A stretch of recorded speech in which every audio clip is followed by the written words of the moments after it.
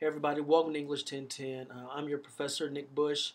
Um, I'm looking forward to a great semester. I think we're going to have a lot of fun, and but also uh, be challenged with the, the things that we have in class. So uh, by this time in December, you should be ready for Comp 2, and it'll be um, it should be a good time. Uh, let me know if you have any questions.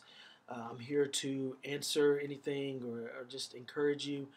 You know, and, and I, again, I, th- I think that if if you weren't prepared for this class, you wouldn't be in it. So just trust in yourself. And if you do that and, and turn in all your work, I think you'll have no problem uh, being ready for next semester.